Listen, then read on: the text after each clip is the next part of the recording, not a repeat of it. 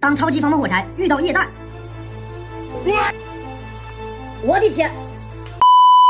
号称世界上最牛的火柴究竟有多厉害？点燃后放进水里浸泡几秒钟，拿出来照样可以燃烧。就算是埋进土里踩上两脚，也是照烧不误。什么水能灭火，又或是隔绝空气，在它这里起不到任何作用。到货了，兄弟们！视频同款的防风火柴，开箱啊！这个火柴的个头也太大了吧？这哪叫火柴呀？我说的是火把，不过分吧？这个是我们平时用的火柴啊，咱们对比一下大小，我去，简直是太大了。那么据说呢，这种火柴呢是俄罗斯特种兵专用的火柴啊，因为据说这种火柴里面加入了大量的助燃剂啊，所以说它不仅防风，还能防水，你敢信？火柴盒上还有一大块擦皮啊。据说这个火柴能扛住十级大风啊，我看看到底怎么回事啊？哎，呃，着了着了着了！哇，真吹风呀！我好像看着我太奶了。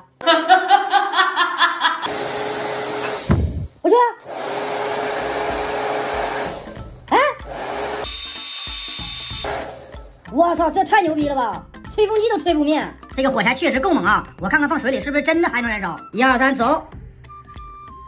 我去，又燃烧了！我操，水都不灭！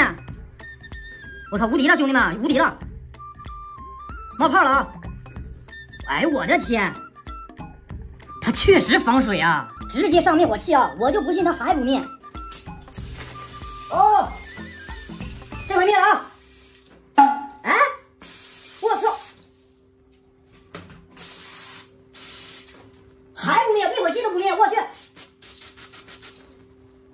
哇哇哇哇哇！啊，